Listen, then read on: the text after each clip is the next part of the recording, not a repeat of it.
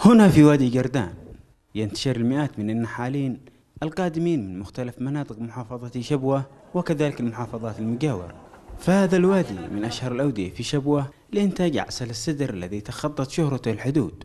ومع بداية شهر سبتمبر من كل عام يتوافد النحالون إلى قردان استعدادا لإنتاج هذا النوع من العسل. فوجود أشجار السدر المنتشرة بكثافة هنا من أهم العوامل التي تجذب النحالين. طبعا جردان تتميز عن بقية المديريات لأنها لا يوجد فيها إلا العلب في هذه الموسم.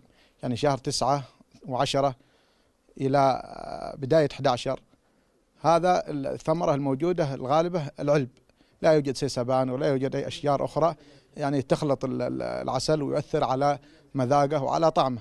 لا شيء سوى رائحة عسل السدر تعم الأرجاء فحتى الأهالي هنا في جردان يهتمون بتربية النحل بالقرب من منازلهم. وهذا الموسم أيضا هو الفرصة التي طالما انتظرها النحالون طيلة العام وبذلوا قصارى جهدهم للحفاظ على خلايا النحل والوصول بها إلى المناطق الملائمة لإنتاج العسل ذي الجودة العالية.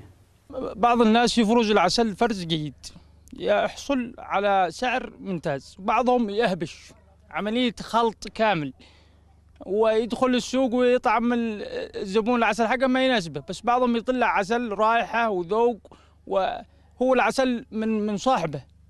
رغم كل الظروف والصعوبات التي يتعرض لها النحالون في شبوة إلا أن مهنة إنتاج العسل تظل من أبرز المهن التي تتوارثها الأجيال منذ أمد بعيد.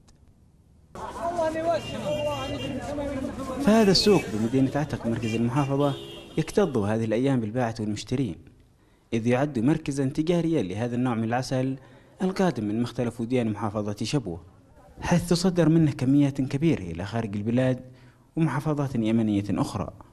أكثر من خمسين عام بالنسبة للعسل. مشهور. التصدير أولا إلى محافظة حضرموت وإلى عدن وإلى المحافظات هذا. الشيء الثاني بعدين بدينا في التصدير إلى الدول مجلس التعاون. بعدين بدينا في التصدير إلى شرق آسيا. وهكذا. بالنسبة للجودة حق العسل العسل الشبواني معروف. إذا فالعسل ثروة لا تقل أهمية عن غيرها من ثروات البلاد. التي ترفد الأقتصاد الوطني إذا ما وجد النحل الاهتمام والرعاية الكافية من الجهات المعنية في الدولة. إبراهيم حيدرة قناة بلقيس شبوة.